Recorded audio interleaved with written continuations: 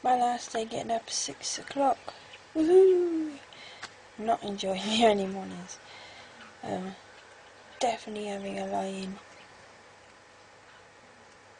tomorrow.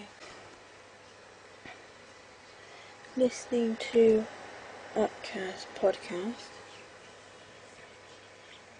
Mm-hmm.